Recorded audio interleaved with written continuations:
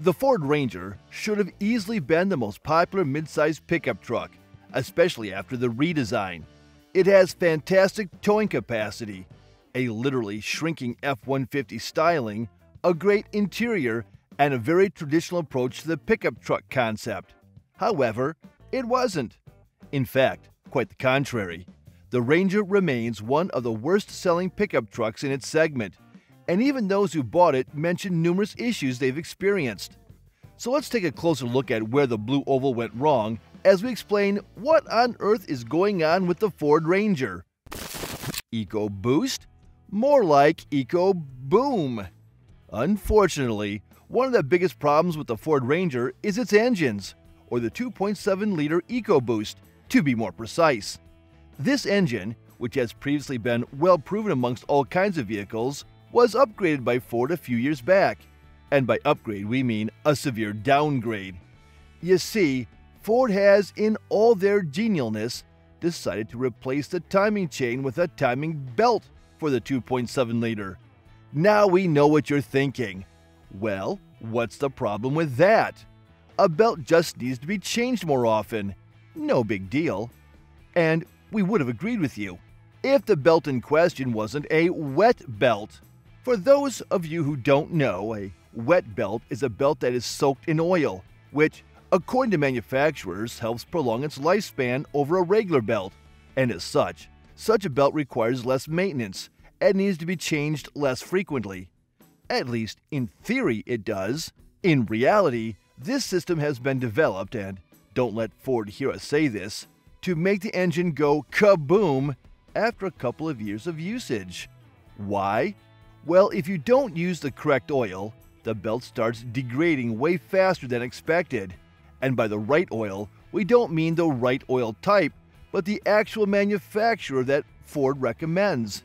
And since most of us don't really care about the oil manufacturer, but just the oil type, it's inevitable that the belt will give in eventually and disintegrate, practically grenading your engine. Now, this can be prevented by servicing the engine regularly and replacing the wet belt like it was a regular one. However, this is very costly, and it almost rivals the price of replacing the timing chain, which will only be done maybe once in an engine's lifetime. Honestly, we're flabbergasted by the fact that Ford decided to overcomplicate the engine and offer a solution to a problem that didn't exist. To be more precise, they made a problem out of nothing. At least the 2.3 liter has the chain, though, and frankly, we just tell you to stick with it instead of upgrading to the 2.7. It's a better power plant through and through. However, even it has been met with all kinds of minor issues and problems. Minor, but irritating engine issues. Both the 2.3 and the 2.7 have been riddled with all kinds of smaller issues, all of which are probably the result of Ford's hyper production of their vehicles. As a result, buyers have commonly encountered issues related to the oil pump, which manifests itself through an audible rattle accompanied by the oil pressure light coming on. This is an issue that happens because of premature wear and tear of the parts used within the fuel pump, or those parts being made to a lower standard from the get go. In addition to that, owners have also reported turbocharged failure, which, albeit not commonplace, is still a thing to look out for, especially if you're buying a used Ford Ranger. There's also been mention of crankshaft damage, which manifests through a rapid and significant drop in fuel economy. The crankshaft being worn down is more of a 2.7 issue than the 2.3. However, you should be on the lookout for both, as with Ford's recent dip in quality, no powertrain is truly safe.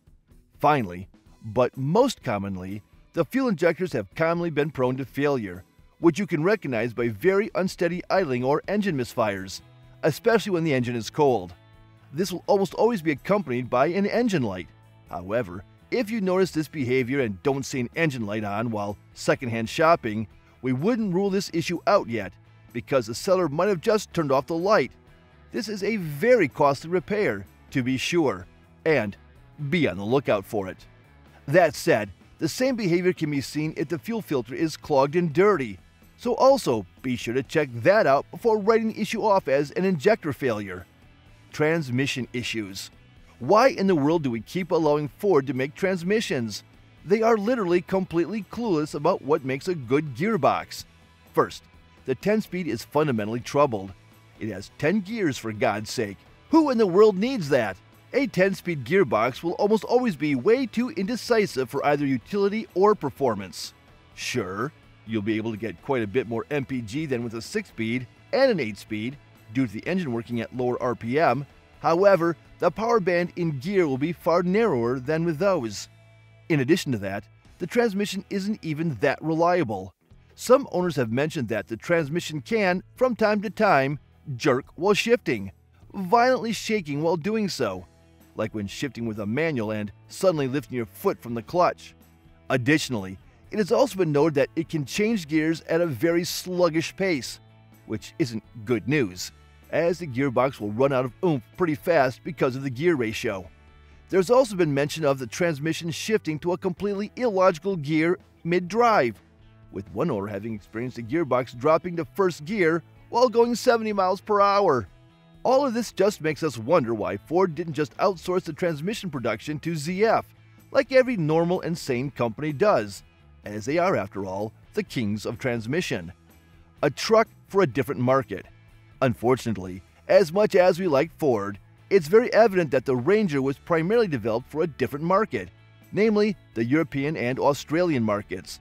First of all, the previous and the current generation of the trucks share the same platform, meaning that the all new generation isn't really all new, just heavily facelifted. In addition to that, the Ford Ranger also has quite a bit of European heritage, as this platform has been made in collaboration with Volkswagen for their Amarok truck. Now, sure, because of this adaptation to the European market, and because of any real competition to it, the Ranger has been selling pretty well on the old continent. It has also been met with generally positive reviews, and was and is pretty well adored in Australia, which has a much more developed mid-size pickup truck culture than we do. However, in the US, full-size pickup trucks still reign dominant over mid-size ones. And by the looks of it, that won't change anytime soon, which is one of the reasons why the Ranger hasn't skyrocketed in sales for the past few years. Despite being a cheaper alternative to the F-150, its large brother remains the best-selling vehicle in the US, despite the economic crisis. Plus, the Ranger wasn't even present at the US market before 2019, which means that most mid-sized truck buyers aren't well accustomed to it and don't trust it, especially since the competition offers very compelling choices of other mid-sized pickup trucks. That brings us to the most important reason why the Ranger isn't as popular as Ford expected it to be. Alternatives are simply better. Like it or hate it, Ford's biggest mistake with the Ford Ranger was that they tried to make a jack of all trades kind of truck. They tried to fit a full size truck soul in a mid sized truck, and that simply didn't work all that well. Don't get us wrong, the Ranger is a compelling truck, and you won't make a mistake if you buy it. It's just, well, its competition just does individual things so much better than the Blue Oval's offering. For example, the Jeep Gladiator is a far better off roader than the Ford Ranger, primarily because of its off road heritage and the platform it shares with the Wrangler. The Chevrolet Colorado offers a better packed package, with more standard features and a nicer design for a drastically smaller price while also being a very comparable jack of all trades vehicle. The GMC Canyon is much better built and has a much more premium feel on the inside, while the Nissan Frontier has the same character and features as the Ranger, only for a smaller price and, in our opinion, with a better engine, as it uses a naturally aspirated V6 lump. However, the biggest threat to the Ford Ranger is nobody else than the Toyota Tacoma, which is also a vehicle that aims to be good at everything. However, due to its more sophisticated suspension, better reliability track record, and much nicer design, both inside and out, it seemingly does the whole being good at everything thing much better than the Ranger. That said, you don't need to worry too much about the Ranger. It is an excellent pickup truck, and while it might not be the best of the bunch, it's still a great option, especially if you take into consideration that it's the third best vehicle in its class when it comes down to towing and payload capacity. Just remember not to go for the 2.7 EcoBoost if you're looking for a proper workhorse though.